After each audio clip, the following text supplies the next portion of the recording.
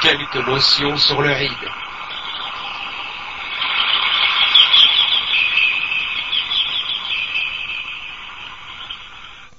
Au nom d'Allah, le tout miséricordieux, le très miséricordieux.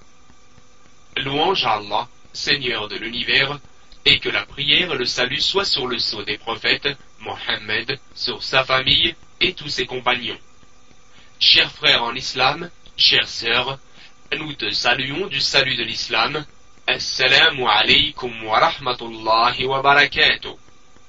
Nous te félicitons d'avance à l'occasion de l'Aïd al-Fitr et nous te disons qu'Allah accepte notre jeûne et le tien. Taqabbalallahu minna wa minka. Nous espérons que tu accepteras ce modeste cadeau pour cette occasion. Puisse Allah le rendre bénéfique à toi ainsi qu'à tous nos frères et sœurs. Chers frères, chères sœurs, le bonheur, tout le bonheur, réside dans l'application de la tradition du prophète, qu'Allah le bénisse et le salue, dans toutes les situations de notre vie temporelle ou spirituelle. C'est pour cela que nous avons souhaité te rappeler quelques notions qu'il est bon de mettre en pratique la veille et le jour du Eid. Premièrement, takbir, c'est-à-dire de prononcer Allahu Akbar. Il est recommandé de répéter cette formule durant la période allant du coucher du soleil de la veille de l'Eid jusqu'à la prière le jour même.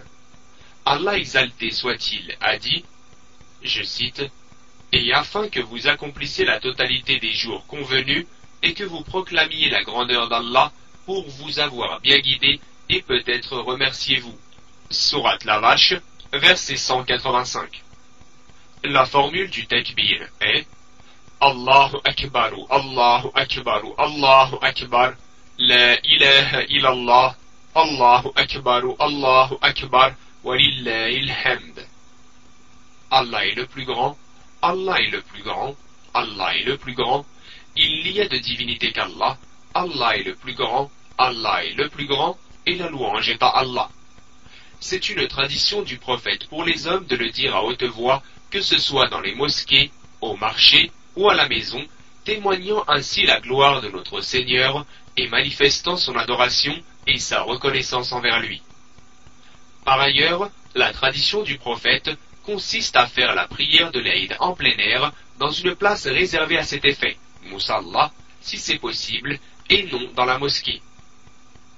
Deuxièmement, l'aumône de l'Aïd, Zakat al-Fitr. Notre Seigneur a prescrit cette aumône.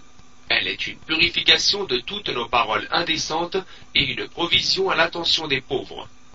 Cette zakat équivaut à Sahara, environ 2 kg de nourriture, que ce soit de l'orge, des dattes, du riz, des raisins secs, etc.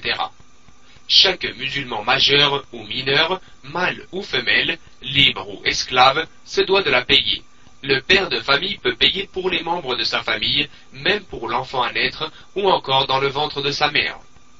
Le meilleur moment pour la payer est avant la prière, le jour de l'Aïd. Il est aussi permis de la payer avant le jour de l'Aïd d'un jour ou deux. Par contre, il est interdit de la payer après la prière de l'Aïd sans excuse valable. De même, elle ne doit pas être donnée en argent, car ceci est contraire à la tradition du prophète. Il faut que ce soit de la nourriture.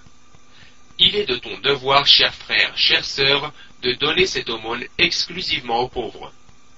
Troisièmement, se laver, se parfumer, pour les hommes, et mettre ses plus beaux habits, sans excès et sans que ces habits ne contiennent quelque controverse avec la religion, et sans pour autant se raser la barbe, car ceci est illicite.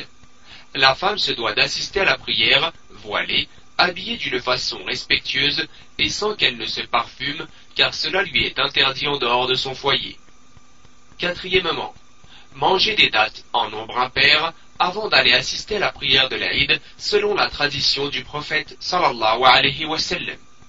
Cinquièmement, partir au Moussalla à pied si c'est possible, en proclamant la grandeur de son Seigneur par le tekbir, depuis la sortie de la maison jusqu'à accomplir la prière de l'Aïd avec les musulmans et assister à la prêche.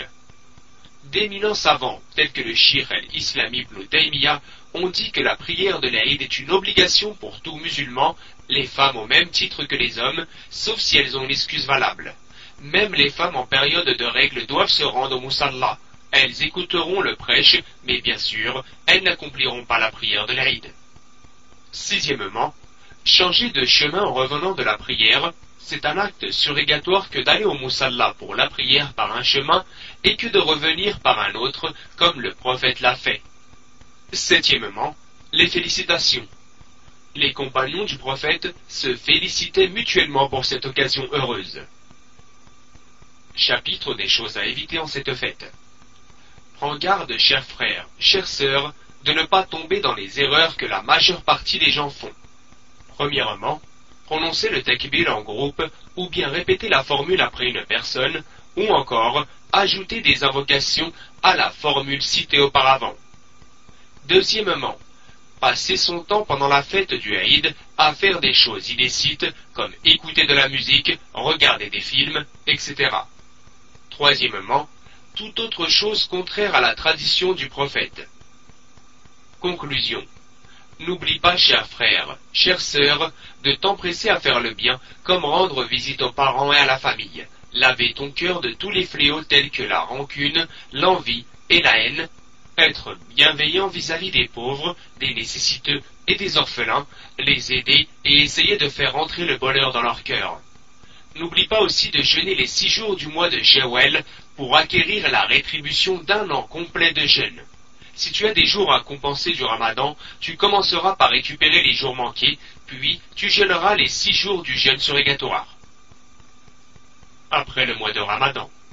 Chers frères, chères sœurs, tu as jeûné, si Allah le veut, parfois et sincérité, en espérant la rétribution auprès d'Allah, tu as accompli la prière à la mosquée continuellement et tu as multiplié la récitation du Saint-Coran en ce noble mois.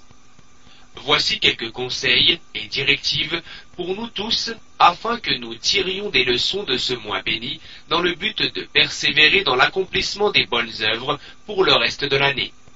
Premièrement, s'habituer durant ce noble mois à faire les cinq prières en groupe à la mosquée, particulièrement la prière de l'aube, El Fajr. Deuxièmement, réciter le Coran chaque jour, même s'il s'agit d'un petit chapitre.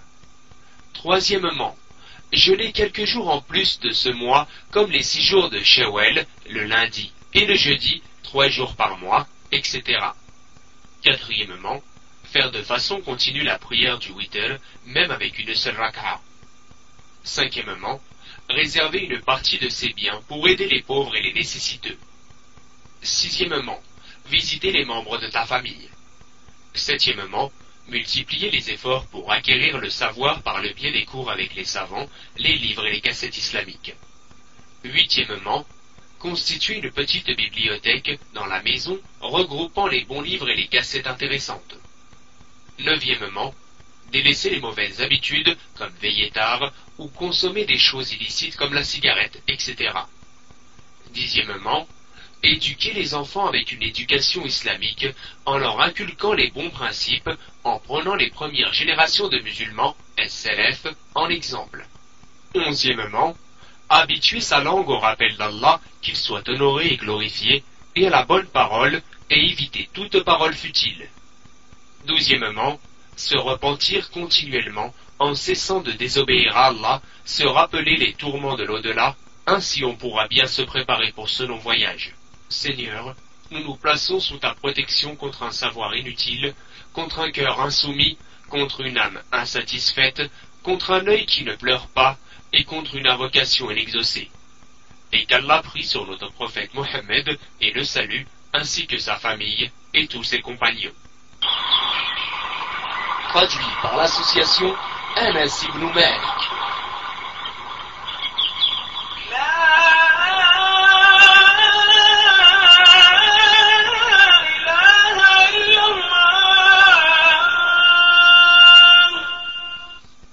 Traduction du Coran est faite